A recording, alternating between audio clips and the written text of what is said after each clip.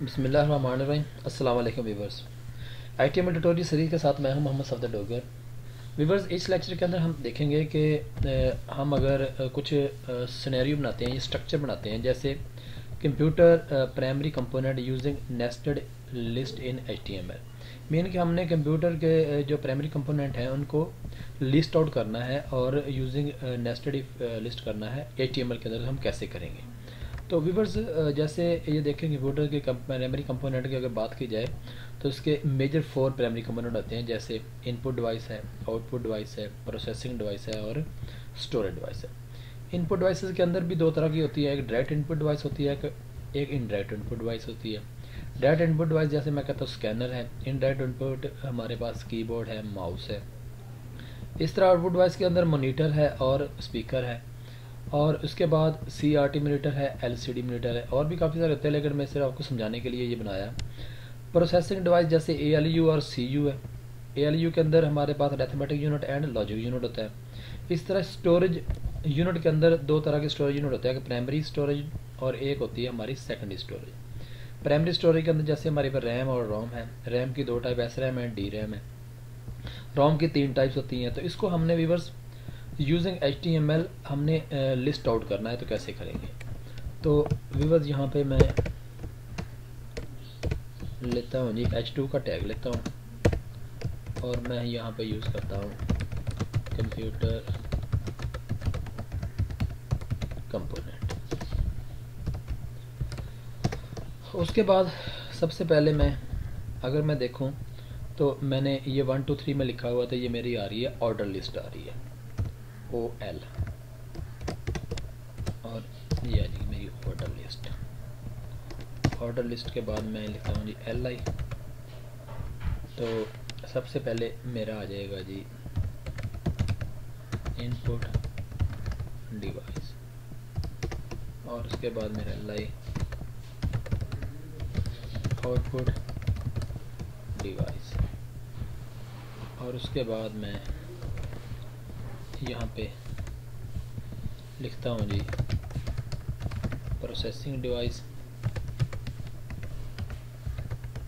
Storage device تو viewers اگر میں اس کو رن کر کے چیک کرتا ہوں۔ تو یہ دیکھیں۔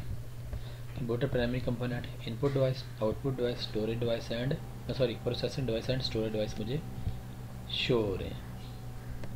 اب اس کے اندر ویورز اگر میں ان پٹ ڈیوائس دو طرح کی ہے، میری ایک ڈائریکٹ ان پٹ ہے، ایک ان ڈائریکٹ ان پٹ ڈیوائس ہے۔ تو یہاں پہ ویورز میں دوبارہ پھر او ایل کا ٹیگ لگاتا ہوں آرڈر لسٹ اور اس کی میں ٹائپ لے لیتا ہوں اے اسمال اے تو اس کے اندر میں ایل آئی لکھتا ہوں جی۔ ڈائریکٹ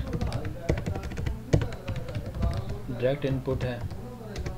اور اس کے بعد میرا ہے جی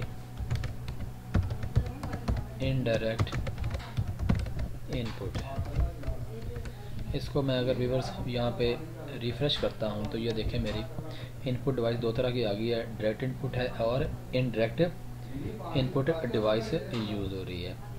اب ڈائریکٹ ان پٹ کو اگر میں ان آرڈر لسٹ کے اندر بناتا ہوں تو اس کو میں کرتا ہوں جی ایل آئی تو یہ میرا آ جائے گا اسکینر تو اس کو میں ایل آئی کو کلوز کر دیتا ہوں.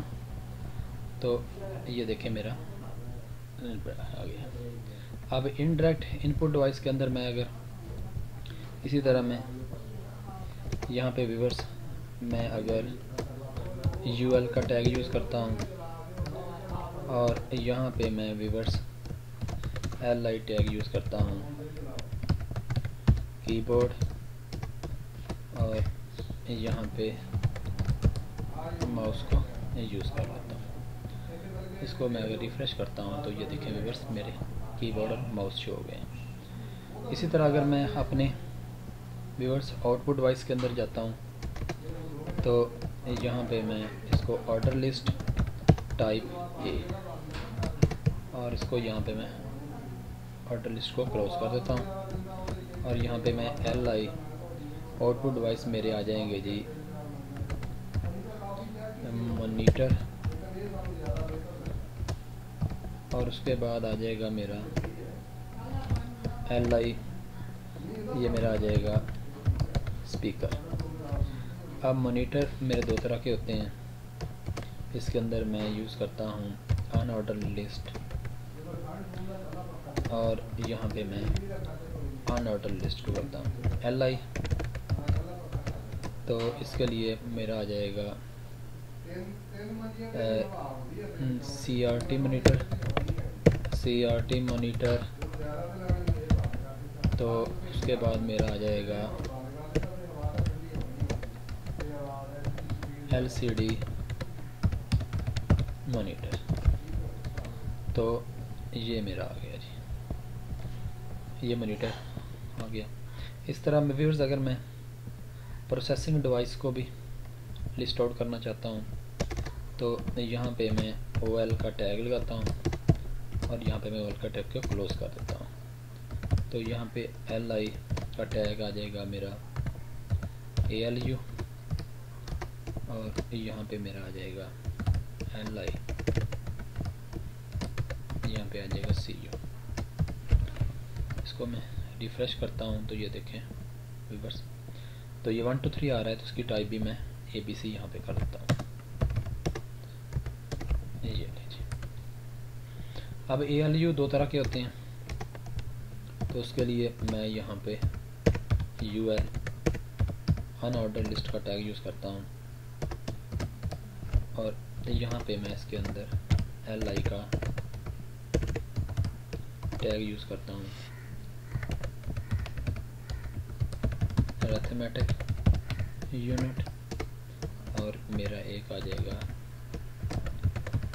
لاجک یونٹ تو اس کو میں ریفریش کرتا ہوں تو یہ دیکھیں arithmetic unit and logic unit آ گئے اس طرح ویورز میں اگر اسٹوریج ڈیوائس کی بات کرتا ہوں تو اسٹوریج ڈیوائس بھی میرے پاس دو طرح کی آ جائیں گی تو وہ کون کون سی اس کی میں ٹائپ اے بی سی لکھ دیتا ہوں۔ تو یہ سب سے پہلے میرے پاس آ جائے گی ایل آئی اسٹوریج ڈیوائس کے اندر ہے جی میری۔ پرائمری اسٹوریج ایل آئی اس کے بعد آ جائے گا سیکنڈری اسٹوریج اس کو میں اگر ریفریش کرتا ہوں تو یہ میری پرائمری اسٹوریج اور سیکنڈری اسٹوریج آ گئی۔ اب پرائمری اسٹوریج دو طرح کی ہوتی ہیں ویورس جیسے میں یہاں پہ ان آرڈرڈ کا ٹیگ یوز کرتا ہوں۔ اور یہاں پہ میں لکھتا ہوں جی ایل آئی پرائمری اسٹوریج کے اندر میں لکھتا ہوں جی ریم ہے اور یہاں پہ میں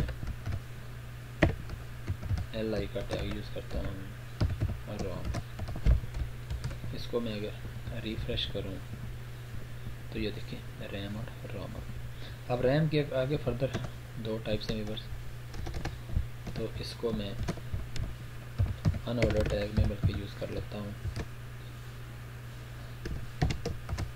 اور اس کی میں ٹائپ جو ہے نا وہ رکھ ہوں سرکل کر دیتا ہوں تو ریم کی دو ٹائپس ہوتی ہیں جی۔ ایس ریم اور ایک آ جائے گا۔ ڈی۔ ریم تو اس کو میں ریورس دیکھیں، یہاں پہ ریفریش کرتا ہوں۔ تو یہ دیکھیں، ریم کے اندر دو ٹائپس آ گئی ہیں، S RAM and D. RAM اگر آپ اس کو آرڈر لسٹ میں لے کر آنا چاہتے ہیں، او ایل اور ٹائپ اس کی کر دیتے ہیں جی۔ تو یہ دیکھیں تو اس طرح تو نیچے ہمیں اس کو او ایل سے کلوز کر دیں۔ تو اس کو ریفریش کرتے ہیں دوبارہ۔ تو یہ اسی طرح روم کی بھی تین ٹائپ ہیں۔ جیسے میں اس کو یہاں پہ او ایل ٹیگ دے دیتا ہوں۔ اس کی بھی ٹائپ جو ہے نا میں کیپٹل رومن کر دیتا ہوں اور اس کے اندر آ جائے گا میرا ایل آئی پی روم ہے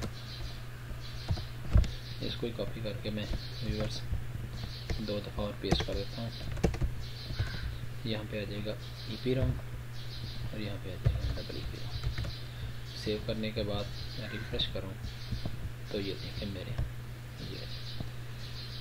اب دیکھیں نا ویورس تو اگر دیکھا جائے تو یہ میرے ون ٹو تھری یہ میری موسٹ جو ہے نا آؤٹر جو ہے نا، وہ آج یوز ہو رہی ہے۔ اس کے بعد اس کے ان پٹ کے اندر دو میری ان پٹ ڈیوائس ہوتی ہیں اور آگے فردر یعنی کہ یہ یوز ہو رہی ہیں۔ تو یہ تو تھا ویورس طریقہ کار کہ اگر آپ نے نیسٹڈ ای کے تھرو کسی بھی اسٹرکچر کو جو ہے نا، وہ ڈسپلے کیسے کرانا ہے۔ اگر آپ نے بک کا کنٹینٹ ہے، اس کو بھی آپ یعنی کہ یہاں پہ ایسے ڈسپلے کر سکتے ہیں۔ ٹھیک ہے نا؟ تو امید ہے کہ آپ کو سمجھ آ گئی ہوگی۔ میرے ویڈیو دیکھنے کا شکریہ۔ میرے چینل کو سبسکرائب کرنا نہ بھولیں۔ ویور چینل کو سبسکرائب کرنے کا طریقہ کار یہ ہوتا ہے کہ آپ اپنا جی میل کا اکاؤنٹ بنائیں۔ جب جی میل کے اکاؤنٹ سے آپ لاگ ان ہو جائیں گے، تو آپ میری کوئی بھی ویڈیو کھولیں گے تو ایک آپ کو ریڈ کا بٹن جو ہے نا، وہ شو ہوگا، جس کے اوپر سبسکرائب لکھا ہوگا۔ اس پہ کلک کریں گے، ساتھ میں بیل کا بٹن شو ہوگا، تو اس پہ کلک کریں گے تو میرا چینل سبسکرائب ہو جائے گا۔